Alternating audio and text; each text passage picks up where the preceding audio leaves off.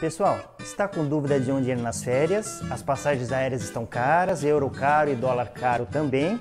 Assiste o programa de hoje, super dica de um roteiro histórico para fazer de carro.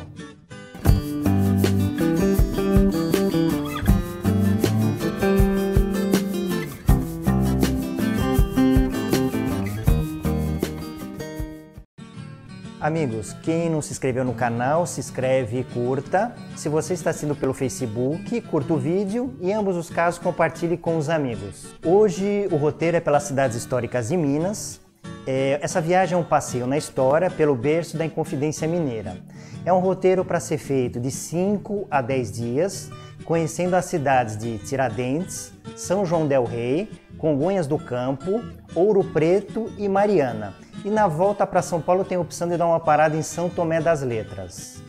Ah, é muito bom andar pelas cidades, o povo mineiro é muito hospitaleiro e a alimentação é ótima, barata e bem variada. Pessoal, no final do vídeo a gente vai falar qual é o custo dessa viagem, tanto hospedagem, transporte e alimentação. Então uh, vamos iniciar nossa viagem saindo de São Paulo. O nosso primeiro destino é Tiradentes. O, a distância de São Paulo, 483 quilômetros, pode ser percorrido em 6 horas e 30 minutos. As atrações da cidade, eu cito caminhar pelas suas ruas, é muito interessante. Uh, a igreja Matriz de Santo Antônio de 1732. Tem também a antiga cadeia pública, que é de 1730 e hoje é um museu de artes sacras. Vale muito também a visita à Igreja Nossa Senhora do Rosário dos Pretos. É uma das igrejas mais antigas da cidade, ela foi construída pelos negros escravos para uso deles. É uma das únicas igrejas que foram feitas pelos escravos que possui ouro no interior. O ouro que tem nessa igreja, muito interessante, os negros trabalhavam nas minas e no final do dia eles iam tomar banho num tanque nessa igreja. Então eles se lavavam e o ouro que ficava no corpo deles ficava depositado no fundo desse tanque. Esse ouro foi retirado e foi usado para fazer essa igreja. É, não ir embora da cidade sem experimentar a comida, que é muito boa, e também os, do, os doces caseiros. A segunda cidade do nosso roteiro é São João del Rei. Como que ela pode ser visitada? A partir de Tiradentes. É, em Tiradentes a gente vai pegar a Maria Fumaça, é, essa Maria Fumaça é a mais antiga ainda em operação no Brasil. O preço da passagem ida e volta é 70 reais, funciona sexta, sábado e domingo. São 12 quilômetros de distância, o trajeto demora por volta de uma hora. São João del Rei é uma cidade bem interessante, é muito legal caminhar por suas ruas, para quem gosta de tirar foto ou mesmo passear. As atrações são a Igreja Matriz de Nossa Senhora do Pilar, de 1721, tem também a Igreja Nossa Senhora do Rosário, de 1720, a Igreja Nossa Senhora do Carmo, de 1733, e a Igreja de São Francisco de Assis, de 1774. A cidade já é uma atração por si mesmo. Amigos, o terceiro destino de hoje é Congonhas do Campo. É, Congonhas do Campo fica a 118 quilômetros de Tiradentes, são duas horas de viagem. Então, vamos parar em Congonhas para conhecer a, as suas atrações e depois seguimos para Ouro Preto.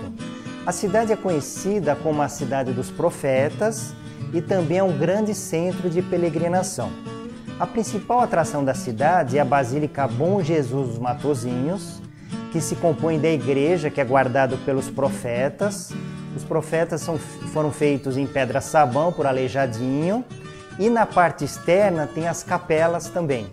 Essas seis capelas que existem na parte externa da igreja, conhecido como Jardim dos Passos, e elas representam a Via Sacra, são belíssimas imagens esculpidas em madeira, mais especificamente em cedro, e foram feitos por Aleijadinho. A cidade ainda é um grande centro de peregrinação. Todo ano, 5 milhões de peregrinos visitam a cidade entre os dias 7 e 14 de setembro. Eu só gostaria de fazer um parênteses para fazer uma citação de Aleijadinho. Aleijadinho é um personagem muito importante da história que eu acredito que não tenha tido o reconhecimento devido. O nome dele era Antônio Francisco de Lisboa. Ele nasceu em Vila Rica, hoje Ouro Preto. Mais conhecido como Aleijadinho. Ele foi importante é, escultor, entalhador e arquiteto do Brasil colonial. As duas maiores obras dele são os Doze Profetas, feitos em pedra-sabão de Congonhas do Campo, e também a Igreja de São Francisco de Assis, em Ouro Preto, que veremos mais à frente. Amigos, o quarto destino de hoje é Ouro Preto, é uma cidade muito bonita, ela fica a 57 quilômetros de distância, é, pode ser percorrido em 1 hora e 14 minutos. Uh, pode se hospedar em Ouro Preto ou em Mariana e a partir de uma dessas cidades conhecer ambas. As atrações de Ouro Preto são a Igreja Matriz Nossa Senhora do Pilar, muito bonita. Tem também a Igreja Nossa Senhora do Carmo, a Igreja de São Francisco de Assis e a Igreja Matriz Nossa Senhora da Conceição. Outra atração muito interessante na cidade, que está ao fundo do vídeo de hoje, é a Praça Tiradentes e pode ser visto mais ao fundo lá, um prédio com relógio, é o Museu da Inconfidência. Ele reúne uma vasta obra com a história, que representa a história da cidade e principalmente é, da Inconfidência Mineira. Vale muito a pena a visita, o ingresso é 10 reais. Outro lugar que pode ser visitado a partir do centro da cidade é o Mirante Morro São Sebastião. É um morro perfeito para apreciar a cidade e lá de cima dá para ver todos os cartões postais. Outro lugar bem legal e inusitado é a mina do Chico Rei. É uma mina de ouro desativada, ela foi desativada em 1888. E são corredores de mais ou menos um quilômetro e meio, cerca de 300 metros pode ser visitado. O ingresso é 30 reais, é um lugar bem interessante. Outra coisa, não embora de Ouro Preto, sem é, conhecer a gastronomia do local, ter um, cardápio bem variado e também passear pela cidade e tirar fotos. É uma cidade muito fotogênica, bem legal de tirar fotos. Outra cidade bem interessante se visitar, Mariana. Ela fica a 15 quilômetros de distância de Ouro Preto, são 26 minutos de viagem. As atrações de Mariana podemos citar a Catedral Basílica da Sé, também conhecida como Nossa Senhora da Assunção. Outra igreja muito interessante, a igreja de São Francisco de Assis, vale a pena a visita. A igreja São Pedro dos Clérigos. E também uma visita interessante, a antiga Casa da Câmara e que já foi cadeia também. Importante também visitar o Pelourinho, foi construído para castigar os infratores, segundo a coroa portuguesa. É, outro lugar bem legal de se visitar em Mariana, se não for o mais interessante, é a Mina da Passagem.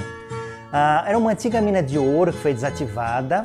A descida é feita até as galerias subterrâneas através de um trolley. É, ele chega até 315 metros de extensão, são 120 metros de profundidade. É, desde a sua fundação até o início do século XVIII, foram retirados da mina da passagem cerca de 35 toneladas de ouro. Vale muito a pena conhecer. O ingresso é por volta de 50 reais. Mariana é uma cidade muito bonita e vale muito a pena caminhar por suas ruas, tirar fotografia, conversar com as pessoas e também conhecer a gastronomia local. Agora vamos iniciar a nossa viagem de retorno. De Mariana a São Paulo são cerca de 646 quilômetros. Quem quiser voltar direto para casa são 9 horas de viagem. É, quem quiser dar uma parada para conhecer uma cidade ou quiser se hospedar para quebrar em duas vezes a, a, a volta, pode se dar uma parada em São Tomé das Letras. Então, quem optar por fazer essa opção, de Mariana a São Tomé são 335 quilômetros são 5 horas e 40 minutos de viagem. E no dia seguinte a pessoa descansa e no dia seguinte de São Tomé a São Paulo, mais 349 quilômetros, mais 4 horas e 40 de viagem. São Tomé é bem interessante para parar ou para pernoitar. A cidade é mística, tem um clima bem legal e é uma cidade super tranquila. Como atrações, é, caminhar pelo centro, suas casas e suas ruas são feitos, feitas de pedra. A cidade também, os, os arredores têm diversas cachoeiras para serem visitadas, são bem bonitas. E uma tradição também, quem visita a cidade, no fim da tarde, vê o pôr do sol na pirâmide. É bem bonito de se visitar. Pessoal, agora a parte chata da viagem, que é o custo. É, lembrando que em viajando em dois casais ou em quatro pessoas no carro diminui o custo da viagem. É, o pedágio e volta não é caro, são 23 reais. O combustível, eu fazendo aqui o cálculo em etanol, é, em gasolina vai ser um pouquinho mais caro. E de volta em álcool daria 375 reais. Agora, no caso da hospedagem, estamos falando em seis diárias. É, eu tomei como referência agora outubro de 2020. As seis diárias em pousadas, pousadas boas, como eu estou mostrando aqui nas fotos, é, daria com o café da manhã o valor de R$ 1.340. O local mais caro de pousada foi São Tomé das Letras. De alimentação, é, daria por volta de seis, di seis diárias, 12 refeições, por volta do casal 600 reais. O total, 2.338, o valor por pessoa, R$ 1.169. Amigos, eh, inicialmente eu queria agradecer esse senhor que ficou assistindo o vídeo todo aqui. E o rapaz da moto também aqui que não conseguiu passar também.